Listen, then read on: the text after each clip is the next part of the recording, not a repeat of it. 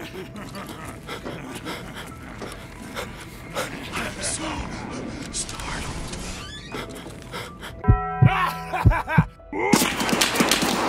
I'm so fucking scared right now, you shut up! Hi, man. Bro, I just had glitched the boss. No way that just happened. I'm taking your shoes.